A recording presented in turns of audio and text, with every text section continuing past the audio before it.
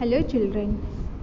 This video is for class 4 subject English grammar chapter number 13 and the topic of the chapter is articles a and or the. So first of all we will learn what is an article.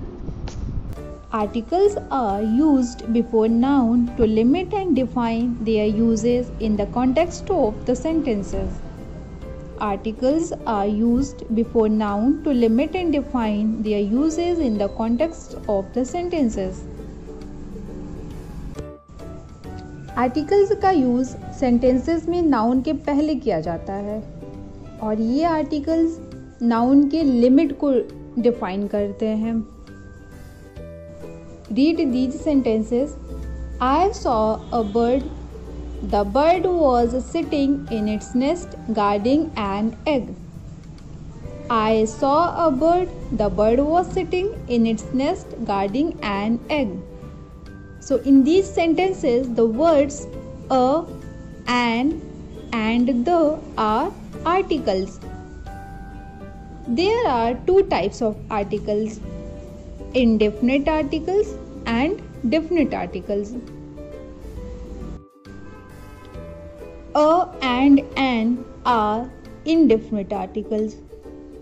A and an are indefinite articles. A and an mean one. A and an mean one. A and an are placed before countable nouns in the singular number. A और an का use किसी एक noun को define करने के लिए किया जाता है। अ और एन का यूज़ किसी एक नाउन को डिफाइन करने के लिए किया जाता है। अ और एन मीन्स एक होता है। और और एन का यूज़ काउंटेबल नाउंस अ और एन का यूज़ काउंटेबल नाउंस जो कि सिंगुलर नंबर में हो, उनके पहले किया जाता है। For examples, a boy, a bag, an egg, an ant. Students, remember we don't put a or an before uncountable nouns. We don't put a or an before uncountable nouns. हम इनका use uncountable nouns के पहले नहीं कर सकते हैं for example give me a sugar she has an intelligence. So these sentences are wrong because these nouns, sugar and intelligence, are uncountable nouns. So in these sentences, we cannot put a or an. Uses of a We use a before words beginning with a consonant sound. We use a before words beginning with a consonant sound. हम a articles a का use consonant sound के पहले करते हैं। जो word consonant sound से start होता है, उसके पहले अ का यूज़ करते हैं, ना कि एन का। Now see the examples Meena is a student Mohan is a batsman Give me a pen. We also write a one eyed dog. We also write a one eyed dog since O in one is pronounced as W, W1. Since O in one is pronounced as 1 W O N 1 and 1 is a consonant sound. One eyed dog के पहले हम a का use करेंगे। क्यों? बल्कि यहाँ पर ओ यानी वन ओ जो कि एक वोवल है। लेकिन इसका जो प्रोनाउंस प्रोनाउंसिएशन हम करेंगे तो ये, इसका प्रोनाउंसिएशन क्या होगा? वन हिंदी में व आएगा। हिंदी का जो व होता है वो व हो जा रहा है। तो इसीलिए वन आइड डॉग के पहले हम अ का यूज़ करेंगे, ना कि एन का। Uses of an a an an we use an before a word beginning with a vowel sound we use an before a word beginning with a vowel sound जो words vowel sound से start होंगे उनके पहले हम an का use करते हैं। और जो वर्ड्स कॉन्सोनेंट साउंड से स्टार्ट होते हैं, उनका हम, उनके पहले हम अ का यूज़ करते हैं। इन दोनों में ये डिफरेंस है। जब आर्टिकल्स ए का अ का यूज़ करना है हमें तो हमें देखना पड़ेगा कि जो वर्ड्स हैं, वो उसका साउंड क्या है? कॉन्सोनेंट होना चाहिए। तब वहाँ पर हम अ लगाएँगे, और अगर उस वर्ड का जो प्रोनाउंसिएशन है वोवेल साउंड होता है तब हम एन का यूज़ करते हैं। So we use an before a word beginning with a vowel sound for example I have an apple for breakfast I saw an eagle flying This is an interesting book. Therefore, a is used with countables and singular nouns beginning with consonant sounds and an is used with countables and singular nouns beginning with vowel sounds ऐसे words जो कि countables हो words mean noun जो कि countables हो और singular number के noun हो जिनका प्रोनाउंसिएशन करते समय हमें कॉन्सोनेंट साउंड प्राप्त हो, तब वहाँ पर हम अ का यूज़ करते हैं आर्टिकल अ का यूज़ करते हैं। और जब कोई नाउन काउंटेबल सिंगुलर नंबर के नाउन्स हो, जो कि वोवेल साउंड से स्टार्ट हो, तब वहाँ पर हम एन का यूज़ करते हैं। बट स्टूडेंट्स कुछ ऐसे वर्ड्स हैं, जबकि हम, जैसा हमने यूजेस ऑफ़ एन में पढ़ा ऑनरेबल ऑनेस्ट ऐसे वर्ड्स भी हैं जो थोड़े कंफ्यूजिंग वर्ड्स हैं। जैसे हम देख करके बोलेंगे कि यहाँ पर एन होना चाहिए, लेकिन वहाँ पर अ हो, होता है। अगर हम इसका साउंड बेस पे देखें वोवेल साउंड है कॉन्सोनेंट साउंड है, इस बेस पर अगर हम डिफाइन करते हैं कि यहाँ पर अ होना चाहिए, यहाँ पर एन होना चाहिए तो कभी कभी हम गलत हो जाते हैं। तो हमें हिंदी का जो साउंड होता है उससे हम पता कर सकते हैं कि वहाँ पर अ होगा या एन होगा। Like European E U R O P E A N European इसका जो फ़र्स्ट वर्ड है फ़र्स्ट लेटर है सॉरी फ़र्स्ट लेटर है ई e, और ई e क्या है? वोवेल है. लेकिन इसका हम साउंड अगर साउंड निकालें यूरोपियन तो ये किससे आ रहा है?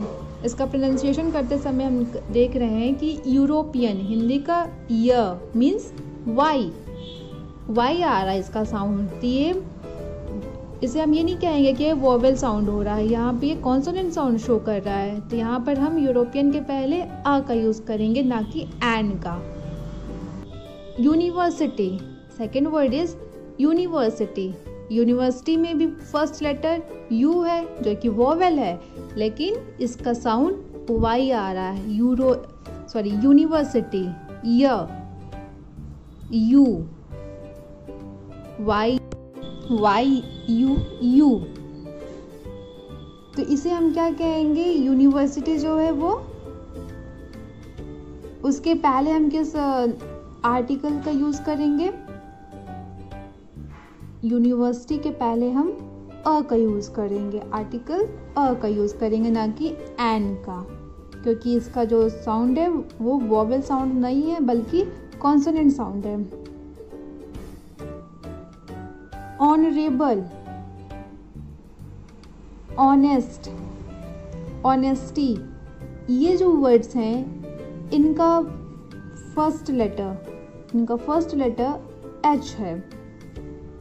अगर हम देखें तो एच ओ इन सब में एच ओ आ रहा है, जिसको हम प्रोनाउंस करते समय बोलते हैं honourable honest honesty O O तो इसका प्रोनाउंसिएशन क्या, कौन सा साउंड दे रहा है? वोवल साउंड दे रहा है। इन वर्ड्स के पहले हम एन का यूज़ करेंगे। बल्कि स्पेलिंग अगर हम देखें तो कॉन्सोनेंट्स है एच से स्टार्ट हो रहा है। लेकिन इसका जो साउंड है प्रोनाउंसिएशन करते समय अगर हम साउंड देखेंगे तो ये वोवल साउंड देगा। जिनके पहले हम एन का यूज़ करेंगे।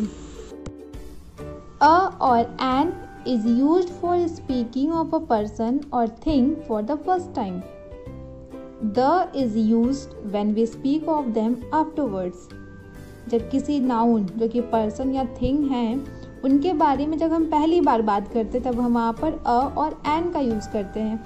और जब उन्हीं के बारे में हम बाद में बोलते हैं, जब उनके बारे में बाद में बात करते हैं तो वहाँ पर हम द का यूज़ करते हैं। मतलब जो जब दोबारा हम उनके बारे में बात करेंगे तो वो मतलब वहाँ पे तब वो पर्टिकुलर शो करने लगेगा ना कि हाँ हम उन्हीं पर्सन और थिंग के बारे में बात कर रहे हैं तो एक पर्टिकुलर हो गया। तब वहाँ पर हम द का यूज़ करते हैं।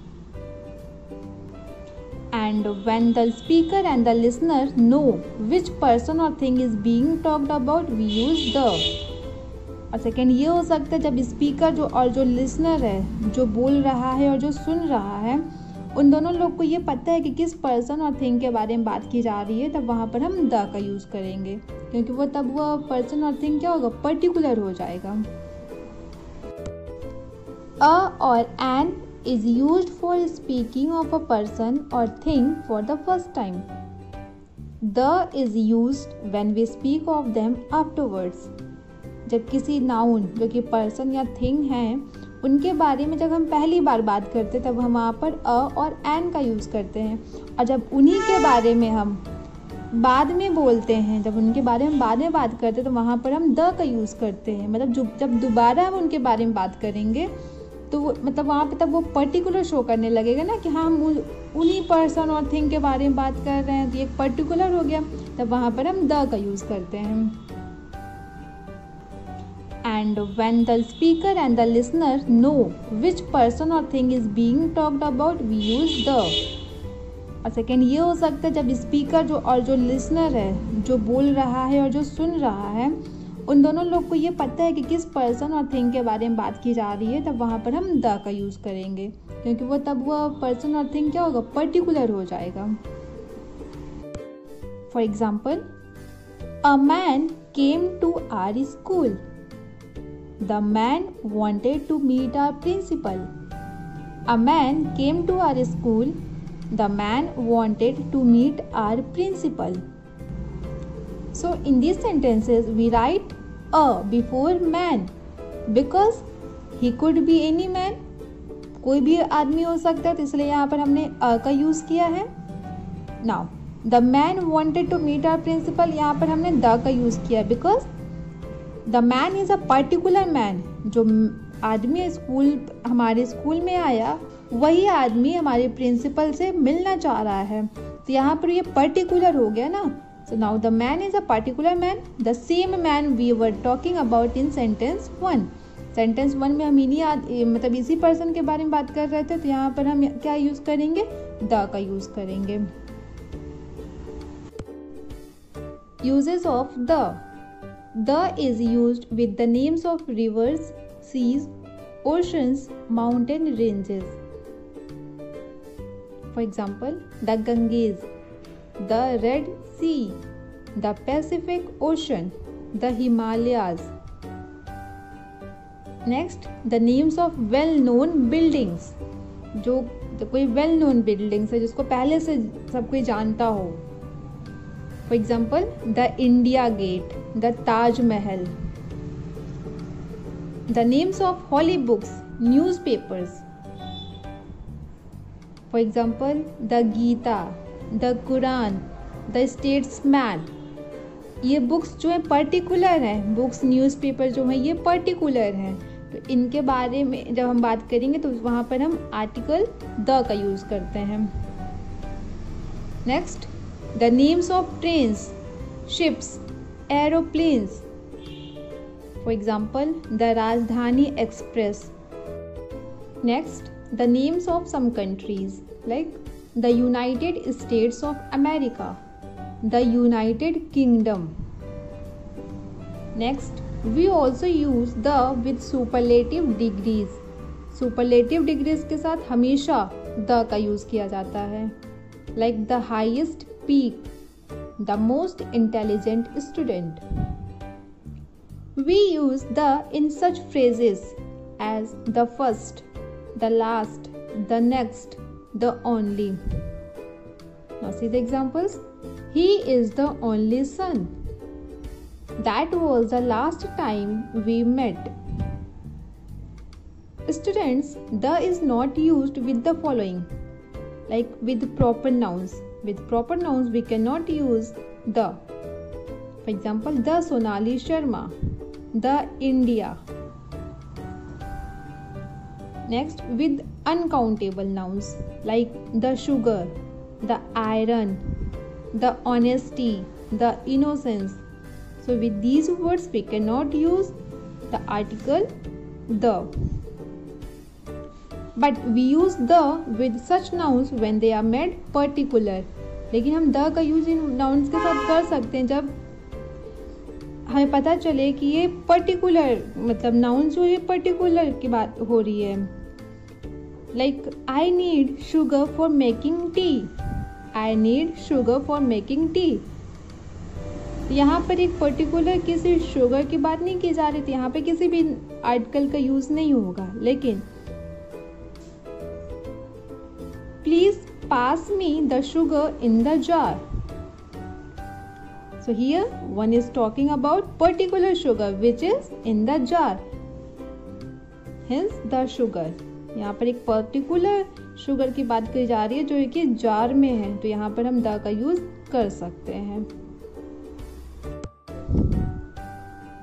ना it's homework time fill in the blanks with a और and interesting book one eyed monster, European friend, honorable judge, intelligent boy, Indian scientist, user friendly computer, and English teacher.